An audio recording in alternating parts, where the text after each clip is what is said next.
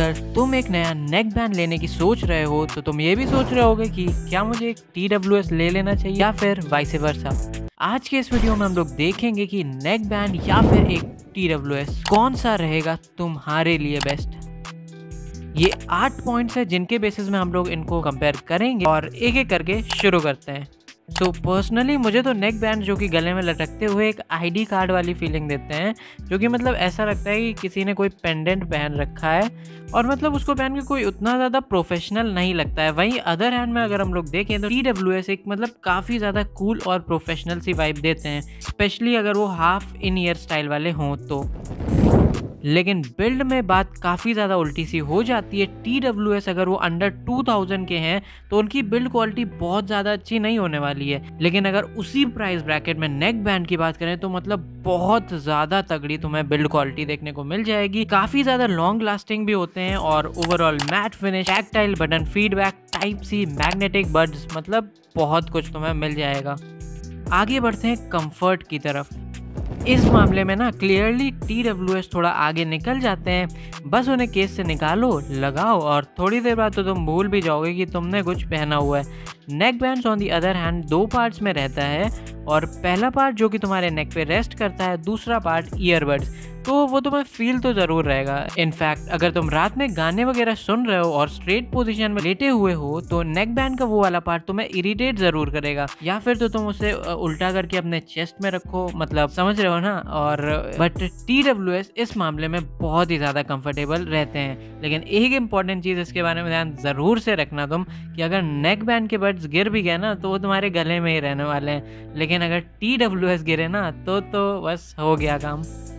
इसीलिए make sure करना कि बहुत ही ज़्यादा अच्छे से उन्हें फिट करके रखो अपने कानों में। पर्सनली इस सेगमेंट में मुझे कोई भी प्रॉब्लम नहीं है क्योंकि नेक बैंड हो या टी डब्ल्यू एस अगर थोड़े अच्छी क्वालिटी के तुमने लिए हैं तो दोनों में ही तुम्हें गूगल की फास्ट पेयरिंग का सपोर्ट देखने को मिल जाएगा। और जब तक तुम उन्हें ऑन करके कानों में लगाओगे ना, तब तक वो बड़ी आसानी से कनेक्ट हो जाएँगे। तो इसकी वजह से ये एक्सपीरियंस काफ़ी ज़्यादा सीमलेस है दोनों में ही।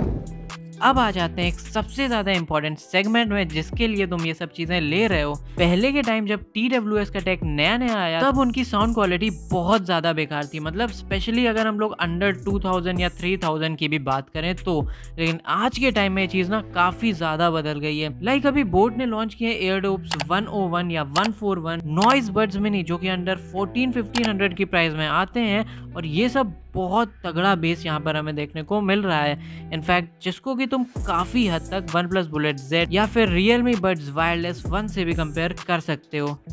लेकिन एक चीज़ ज़रूर मैं कहूँगा यहाँ पर कि अगर तुम्हें प्योर रिच साउंड चाहिए और मतलब बहुत तगड़ी बेस्ट साउंड क्वालिटी चाहिए तो फिर वायर्ड ईयरफोन्स की तरफ़ ही जाना। मतलब एक एक माइन्यूट सी माइन्यूट डिटेल कितने ज़्यादा अच्छे से क्रिस्प और क्लियर सुनाई देती है। लेकिन ऐसा नहीं है कि ब्लूटूथ ऑडियो प्रोडक्ट्स बहुत पीछे हैं इस मामले में, वो भी काफ़ी ज़्यादा अच्छा कर रहे हैं। इनफैक्ट पहले के जो भी ब्लूटूथ ऑडियो प्रोडक्ट्स आते थे, उनमें तुम्हें एक्चुअल ऑडियो का कंप्रेस्ड फॉर्म सुनने को मिलता था। लेकिन आज के टाइम में लेटेस्ट ब्लूटूथ वर्जन आ गए हैं, जो कि काफ़ी तगड़े तगड़े कोडेक्स जैसे कॉलकॉम का aptX aptX H D A A C ये सारे कोडेक्स को बड़ी आसानी से हैंडल कर सकते हैं और इनकी मदद से हाई रेजोल्यूशन ऑडियो बड़ी आसानी से वायरलेसली ट्रांसमिट हो पाता है। बस तुम्हें चाहिए एक ऐसा डिवाइस नेक बैंड हो या टी डब्ल्यू एस जो कि इन कोडेक्स को सपोर्ट करता हो। Sound quality again driver size पे भी काफ़ी ज़्यादा डिपेंड करती है। अब ये नहीं कि किसी में तेरह मिलीमीटर का ड्राइवर साइज़ है तो वो अच्छा होगा किसी लेट से सात आठ मिलीमीटर से। क्योंकि यहाँ पर और भी चीज़ें मैटर करती हैं, जैसे कि ड्राइवर किस मटीरियल से बना हुआ है, जिसकी हेल्प से काफ़ी ज़्यादा जो बेस फ्रीक्वेंसीज़ हैं, वो और भी ज़्यादा थम्पी और वोकल्स और भी ज़्यादा क्रिस्टल क्लियर सुनाई देते हैं। For example I think Galaxy buds pro है, उसमें कुछ सेवन मिलीमीटर का ड्राइवर है और वहीं उसकी ऑडियो क्वालिटी देखो कितनी ज़्यादा टॉप ऑफ़ द नॉच है। सो ओवरऑल डेफिनेटली दोनों में ही काफ़ी ज़्यादा अच्छी साउंड क्वालिटी हमें देखने को मिल जाएगी। अब तुम कहोगे यार किसी एक को चूज़ करना हो तो कौन सा लें? तो हाँ आगे वीडियो में तुम्हें वो पता चल जाएगा। ये एक बहुत ही बड़ा प्लस पॉइंट हो जाता है टी का, क्योंकि ये फीचर अप टू 35 डेसिबल्स तक की बैकग्राउंड नॉइस को कैंसिल कर देता है और डेफिनेटली यार फ़र्क पता चलता है। वहीं दूसरी तरफ़ नेक बैंड में शायद ही real me buds wireless two या शॉमी का एक नेक बैंड है, इनके अलावा कोई भी नहीं है जो कि ये फीचर देता है। वहीं TWS में boAt Noise Realme Oppo इन, इनकी तरफ़ से हमें TWS देखने को मिलते हैं, जहाँ पर एक्टिव नॉइज़ कैंसिलेशन का सपोर्ट है। सो so, डेफिनेटली एक एज यहाँ पर TWS ले जाते हैं ओवर द नेक बैंड यहाँ पर भी सिर्फ़ रियल मी एक ऐसा ब्रांड है जो कि नेक बैंड में गेमिंग मोड प्रोवाइड करके देता है। वही टी डब्ल्यू एस में हमें ढेर सारे ऑप्शन देखने को मिल जाते हैं, जैसे boat noise wings viper phantom जो कि गेमिंग मोड हमें प्रोवाइड करते हैं, जिसकी वजह से लेटेंसी 88 मिली सेकेंड से लेकर के इनफैक्ट 65 मिली सेकेंड तक भी जा सकती है। वहीं नेक बैंड जैसे कि वन प्लस या ओप्पो की बात करें तो यहाँ पर लेटेंसी 95 से 105 मिली सेकेंड तक की रहती है तो इससे ही तुम अंदाज़ा लगा सकते हो। वैसे लोग गेमिंग मोड नेक बैंड में क्यों नहीं देते, ये तो समझ आता नहीं मुझे। और फाइनली बात करते हैं कुछ एक्स्ट्रा फीचर्स की।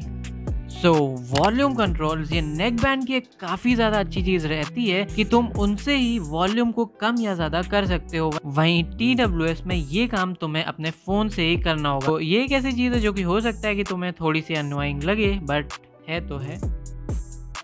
टी डब्ल्यू एस में हमें टच कंट्रोल देखने को मिल जाते हैं, जो कि बस डबल ट्रिपल टैप करो और वो म्यूज़िक को pause play next previous song gaming mode सब कुछ तुम्हारे लिए कर देगा। नेक बैंड में हमें बटन कंट्रोल्स देखने को मिल जाते हैं, जो कि अगेन अपने आप में वो भी काफ़ी अच्छे रहते हैं।